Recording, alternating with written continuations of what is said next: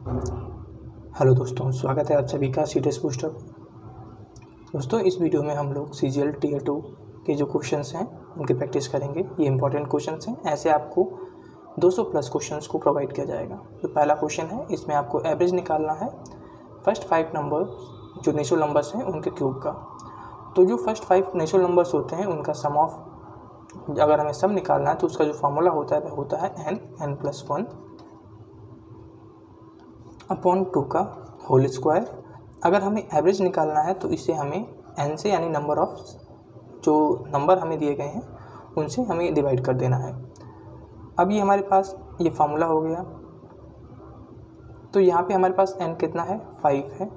तो यहाँ पे हमें फाइव लेना है। फाइव बन, कितना हो जाएगा? सिक्स हो जाएगा। अपॉन टू का होल स्क्वायर अपॉन फाइव ये हमारे पास कितना हो जाएगा?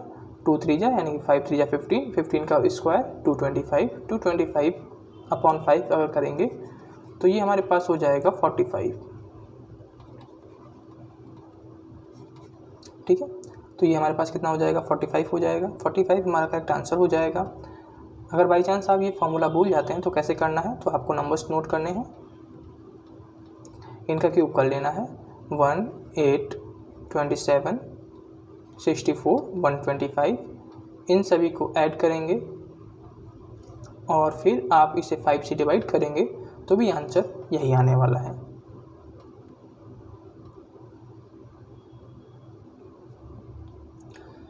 यहाँ पर हमें एक पिरामिड दिया गया है जिसका जो बेस है, वो क्या होता है? वो है इक्वलेटरल ट्रायंगल ठीक है? यानी कि सभी साइड्स बराबर हैं, यानी एट एट और एट यहाँ पर जो इसका लेंथ ऑफ़ एज है, यानी कि इसके ऊपर जो ये साइड्स लगेंगी,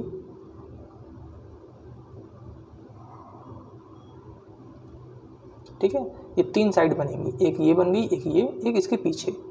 क्योंकि ये तीन हमारे पास क्या है?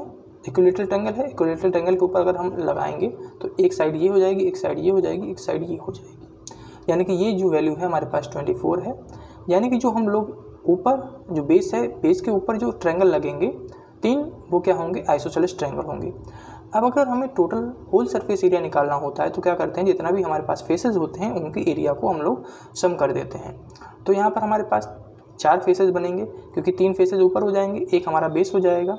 तो हमें क्या करना है? चारों को ही फेसेस का एरिया निकाल के जोड़ देना है। तीन हमारे पास आइसोसेलस होंगे, एक इक्विलेटरल ट्रायंगल होगा। तो सबसे पहले हम इक्वलेटरल ट्रायंगल का एरिया निकालते हैं। तो इक्वलेटरल जो ट्रायंगल होता है, उसका एरिया होता है under root three upon four A square यानी कि एट स्क्वायर हो जाएगा। प्लस फिर हमें क्या करना है? जो हमारे पास तीन ट्रायंगल हैं, यानी कि तीन से कर देंगे। और आइसोसेलस ट्रायंगल का जो फार्मूला होता है, वो बी अपॉन फोर बी यहाँ पर बेस होता है। तो बेस हमारे पास एट है तो eight upon four under root four B square B square हमारे पास कितना है? जो एट है सॉरी फोर ए स्क्वायर होता है तो ट्वेंटी फोर लेना पड़ेगा। तो ये इंटू हो जाएगा twenty four square minus B square B square हमारे पास एट स्क्वायर। ये फार्मूला होता है आइसोसेलेस ट्रैंगल जो होता है, उसका एरिया निकालने का। अब हमें क्या करना है? इसको सॉल्व करना है। तो सॉल्व करने के बाद इसका जो हमारे पास आंसर आना है, वो sixteen root three plus forty eight root thirty five आएगा और ये हमारे पास करेक्ट आंसर हो जाएगा, ठीक है? इसके जो पिरामिड और प्रिज्म हैं, इनके जो सभी फार्मूले हम ऑलरेडी पढ़ा चुके हैं, वो आप क्या करना है, याद कर लेना है। ये जो भी क्वेश्चन आते हैं, ये फार्मूला बेस्ड ही आते हैं और ये आसानी से हो जाते हैं अगर आपको फार्मूला पता है।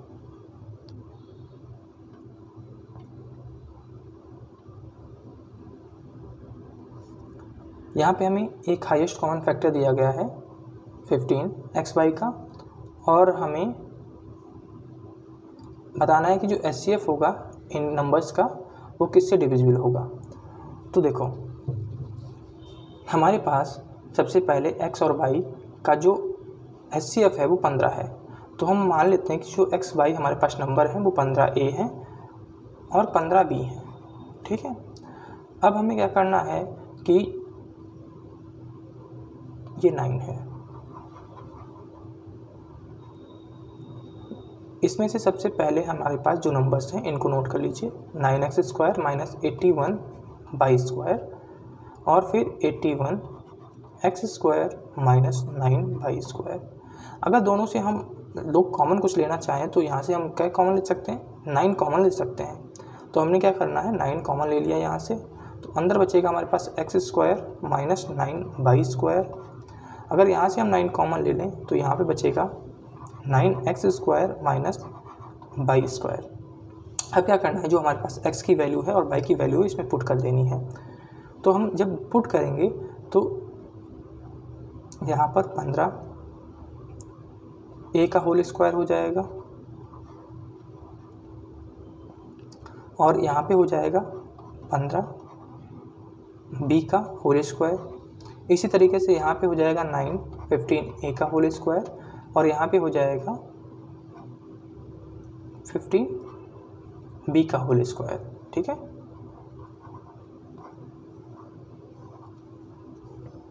अब यहाँ पे अगर आप कॉमन लेना चाहें, क्योंकि एस में क्या होता है, हमें कॉमन लेना होता है तो यहाँ पे हमें कॉमन लेना है तो यहाँ से देखिए फिफ्टीन निकल रहा है, यहाँ से भी हमें फिफ्टीन निकल रहा है, क्योंकि स्क्वायर लगा यानी टू ट्वेंटी फाइव हमारे पास बाहर आ जाएगा nine into fifteen into fifteen same process यहाँ पे करेंगे तो यहाँ पे भी नाइन हमारे पास पहले से है, यहाँ से भी फिफ्टीन निकलेगा, यहाँ से भी फिफ्टीन दो बार निकलेगा।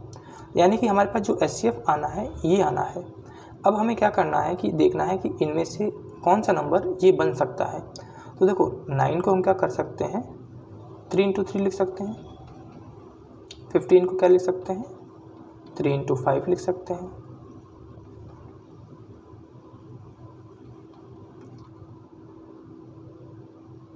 तो बस हमें देखना है कि इन नंबर्स में से कौन सा जो नंबर है, इसको डिवाइड कर सकता है। क्या 120 इसको डिवाइड कर सकता है? नहीं कर सकता, क्योंकि सभी के लास्ट में क्या है ज़ीरो है। क्योंकि यहाँ पे कहीं पे भी टू हमारे पास नहीं है तो हम ज़ीरो यहाँ पे ले ही नहीं सकते तो ये सारे के सारे नंबर हमारे पास चले जाएँगे। केवल एक नंबर बचेगा 135 और 135 सही हो जाएगा, ठीक है? आपको पता भी है कि 59 जा कितना होता है हमारे पास? 135 होता है तो फाइव थ्री जा फिफ्टीन, फिफ्टी नाइन जा वन थर्टी फाइव हो जाएगा।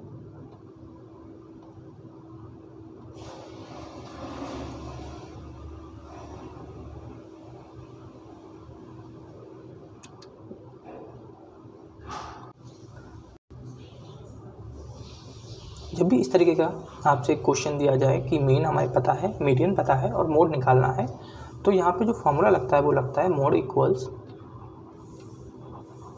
three median minus two mean तो यहाँ पे हमारे पास मोड कितना हो गया?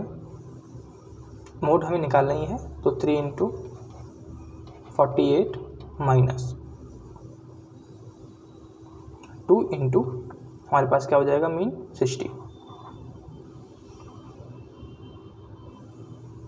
तो यहाँ पे हमारे पास कितना हो जाता है? आठ तीन चौबीस का चार अस्सी लगा दो, चार तीन बारह दो, चौदह। माइनस साठ दूना एक सौ बीस। तो ये हमारे पास कितना आ जाएगा? चौबीस आ जाएगा। और चौबीस हमारे पास करेक्ट आंसर हो जाएगा। तो आपको फार्मूला पता होना चाहिए। आंसर आपके पास अच्छी तरीके से आएँगे सारे के सारे। जो कॉन्सेप्ट हैं, अगर आपको पता है तो फिर आपका जो काम बचता है, वो बचता है कैलकुलेशन का। फिर आप कैलकुलेशन आसानी से कर पाएँगे। देखिए, यहाँ पर इस तरीके का अगर क्वेश्चन आता है तो इसको अगर आप बेसिक मेथड से जाएँगे टाइम आपका कंज्यूम कर लेगा।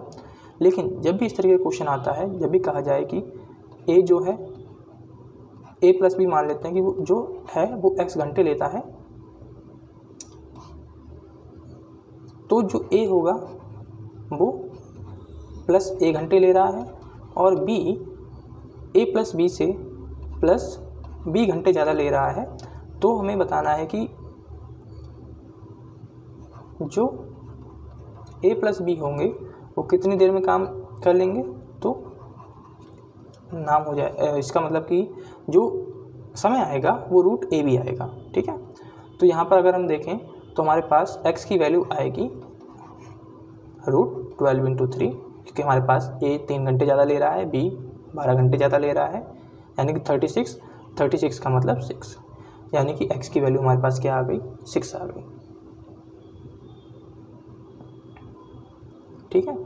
अब यहाँ पे हमारे पास जो सिक्स आ गई find the number of days in which A can make the painting alone तो देखो छः घंटे में दोनों बना रहे हैं।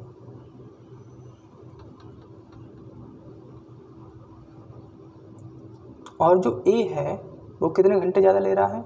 नौ घंटे जो है सॉरी तीन घंटे जो है, वो ज़्यादा ले रहा है। तो ए कितने घंटे में पेंटिंग बना सकता है? तो छः हमारे पास घंटे दोनों ले रहे थे और दोनों से ज़्यादा समय कितना ले रहा है? तीन घंटे ज़्यादा समय ले रहा है।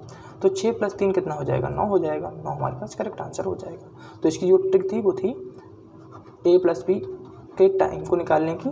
वह थी ए बी जहाँ पर ए आपके पास होगा ज़्यादा समय और बी भी क्या है? ज़्यादा समय। तो ये हमारे पास शॉर्ट ट्रिक थी।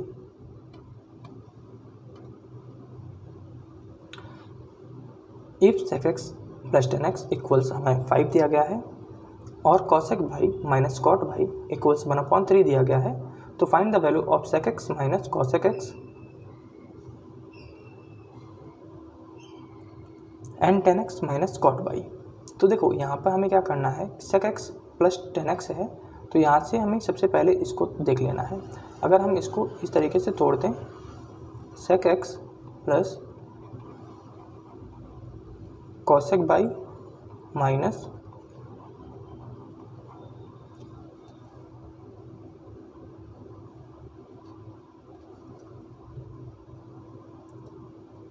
tan x plus cot y तो यहाँ पे हमारे पास sec x minus tan x हो जाएगा।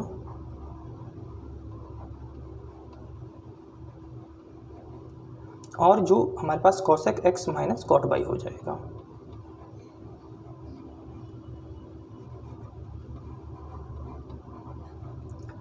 जब भी हमें sec x plus tan x equals five दिया है, यानी कि sec x plus tan x की वैल्यू दी गई है तो हम क्या करते हैं कि सेक एक्स अगर माइनस टेन एक्स निकालना है तो जो भी हमें वैल्यू दी गई होती है उसका वन अपॉन कर देते हैं। यानी कि one upon five sec x minus ten x की वैल्यू हो जाएगी।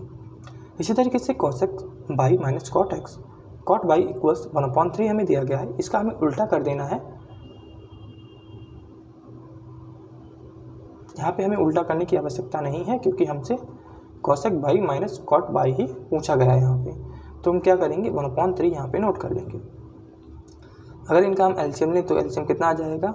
तो फाइव थ्री एट ऊपर एट हो जाएगा, नीचे फिफ्टीन हो जाएगा।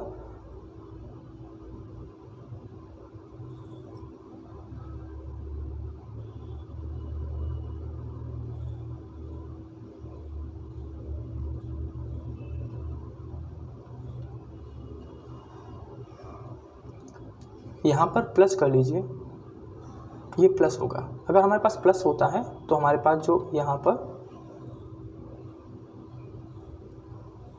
आंसर आ जाएगा वो थ्री आ जाएगा क्योंकि हमें इसका कर, क्या कर देना है? रिवर्स कर देना है।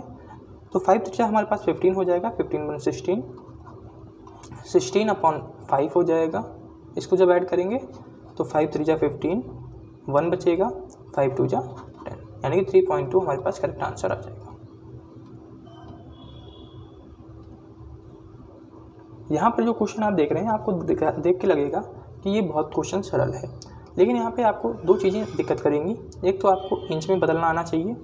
दूसरा जो आना चाहिए, वो आपको आना चाहिए कि कैलकुलेशन कैसे फास्ट की जाए। इसमें जो आपको दिक्कत देगा, वो देगा, एक तो आपको इंच में बदलने दिक्कत देगा इंच से सेंटीमीटर में, क्योंकि ये सारा का सारा जो आंसर है, वो सेंटीमीटर में है।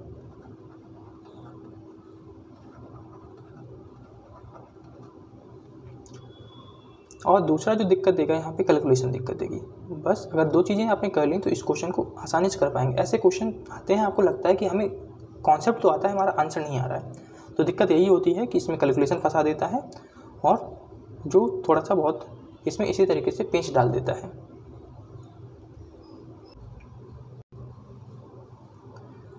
तो आपके पास जो एक इंच होता है, वो 2.54 सेंटीमीटर के बराबर होता है। तो हमारे पास डायमीटर दिया गया है, यानी कि हमें रेडियस निकालना जो कि सिक्स इंच हो जाएगा। इसे अगर सेंटीमीटर में चेंज करें तो six into two point five four करना पड़ेगा। तो सिक्स फोर जा ट्वेंटी फोर का four carry two six five जा thirty thirty two thirty two carry three six two जा ट्वेल्व थ्री फिफ्टीन यानी कि फिफ्टीन पॉइंट टू फोर हमारे पास जो है रेडियस आ जाएगा। अब सरकम फ्रेंस सरकम फ्रेंस का जो फार्मूला होता है वो हमारे पास टू पाई आर होता है। यहाँ पे आप डायरेक्ट वैल्यू पुट कर सकते हैं two into twenty two upon seven into fifteen point two four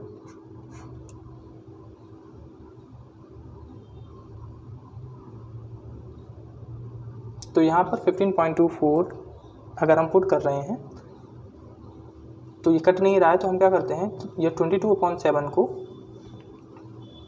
three point one four लिख लेते हैं तो इससे हमें डिवाइड नहीं करना पड़ेगा डायरेक्ट हम मल्टीप्लाई करके आंसर ले आएँगे। क्योंकि आपको पता है कि जो पाई होता है, उसकी दो वैल्यू हमारे पास होती है। तो ट्वेंटी टू पॉइंट सेवन होती है, इसका जब यूज़ करते हैं, जब हमारे पास कटने वाली वैल्यूज़ होती हैं। दूसरा हम थ्री पॉइंट वन फोर का यूज़ करते हैं। जब इसको हम मल्टीप्लाई करेंगे तो फोर फोर जा हमारे पास कितना आ जाएगा? सिक्सटीन सिक्सटीन टू जा थर्टी टू यानी कि लास्ट में हमारे पास जो यूनिट डिजिट आनी चाहिए टू आनी चाहिए। यानी कि ऑप्शन ये पहला हमारे पास गायब हो गया। ऑप्शन जो तीसरा है, वो हमारे पास गायब हो गया, दो ऑप्शन हमारे पास बचे हैं अब दो ऑप्शन में से हमें ढूंढना पड़ेगा तो हमें मल्टीप्लाई तो करना ही पड़ेगा तो इसे जब हम मल्टीप्लाई करेंगे तो हमारे पास जो आंसर आएगा, वो डी आएगा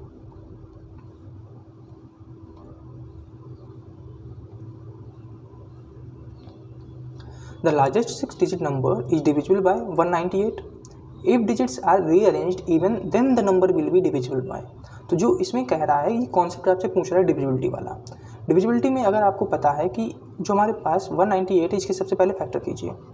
198 के अगर हम फैक्टर करें तो थ्री सिक्स जा एटीन थ्री सिक्स जा एटीन साथ में ये आ जाएगा सिक्स वन जा सिक्स वन जा और दूसरा आ जाएगा अलेवन ठीक है? हमारे पास तीन आ गए, तीन छः और ग्यारह। तीन नंबर आ गए।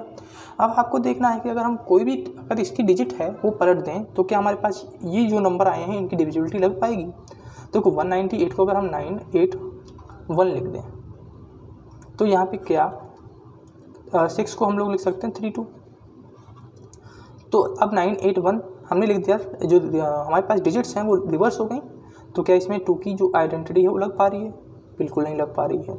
सिक्स की लग पाएगी? नहीं लग पाएगी, क्योंकि सिक्स की लगने का मतलब है तीन और दो की आइडेंटिटी लगनी चाहिए। इसमें दो की तो लगी नहीं रही, क्योंकि इवन डिजिट है ही नहीं। सेवन का भी नहीं लगेगा, क्योंकि सेवन से डिवाइड ही नहीं होने वाला है। ठीक है? इसके बाद हमारे पास बचता है थ्री थ्री पे हम टिक कर सकते हैं, लेकिन हमें यहाँ पे पता होना चाहिए कि थ्री का जो हमारे पास रूल होता है, वो क्या होता है? सम ऑफ़ डिजिट्स होता है। सम ऑफ़ डिजिट्स अगर थ्री से डिविजिबल है तो पूरा नंबर थ्री से डिविजिबल होता है। तो चाहे हम digit one plus nine plus eight लिखें, तब भी सम हमारे पास सेम आने वाला है। चाहे हम nine plus eight plus one लिखें, तब भी डिजिट्स हमारे पास सेम आएँगी। चाहे हम नाइन वन प्लस एट लिखें। कुछ भी लिखें हमारे पास जो डिजिट्स हैं वो सेम आने मतलब कि जो सम ऑफ़ डिजिट्स है वो हमेशा सेम आने वाला है तो जो हमारे पास डिविजुअलिटी है कभी नहीं बदलने वाली थ्री की तो थ्री हमारे पास यहाँ पर करेक्ट आंसर हो जाएगा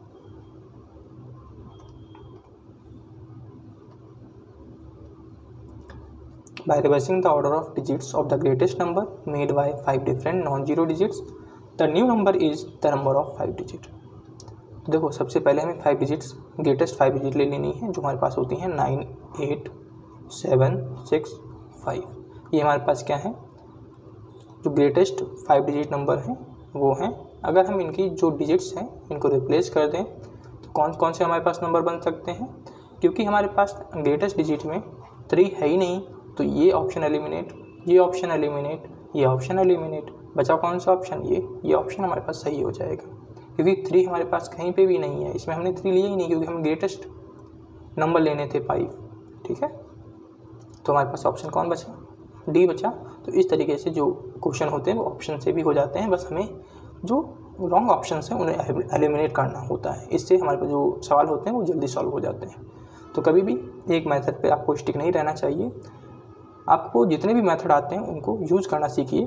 कि किस क्वेश्चन में हम कौन सा मैथड लगा सकते हैं। एक ही क्वेश्चन में कई मैथड लग सकते हैं, लेकिन कौन सा बेस्ट होगा जो हमें आंसर कुछ ही सेकंड्स में दे सकता है या ज़्यादा से ज़्यादा एक मिनट ले, एक मिनट के अंदर हमें आंसर दे दे। तो ऐसे आपको क्वेश्चंस को यूज़ करना चाहिए।